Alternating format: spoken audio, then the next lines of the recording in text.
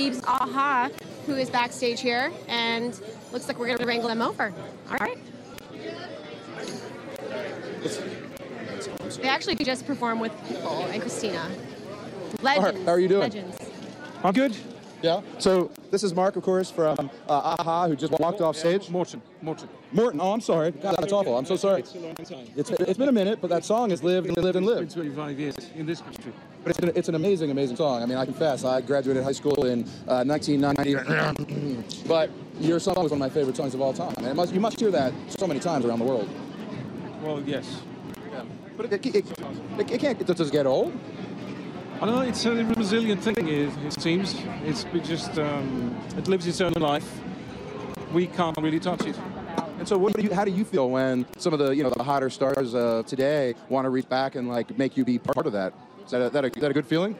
A, uh, yeah, definitely. It's a, it's a great feeling. It's uh, you know it reflects on the way it was for us when we started as well. You know we, we relate to a lot of things that we looked up to when we when we were young, when we were kids, um, and that's how it goes in, in, in cycles. But again, you pick up on young artists as well. I mean, I'm in my 50s now, and I, you know, I, I can I can get a real kick out of you know very young artists doing great things. Who are, who are a couple of today's artists that you love to catch? Oh, I'm not going to give you names. Afraid to name one and then and then offend the others, right? There you go. Can you tell us just a little bit? I mean, I know uh, for fans of a certain age, they've heard the story many times, but for a lot of the younger fans that are tuned in tonight, One artist who's here now, would I would I love to see here? he- He's Narco Bear. oh, okay. And I've just mentioned it now. There you go. And what do you love? What do you love about that? Well, it's, it's more on the spiritual side. It's like soul music. It's dance music for the soul. Fantastic. And one last question: Can you tell us a little bit about like back in the day when the magic happened in the studio and you, and you pulled, um, you know, that song together the first time?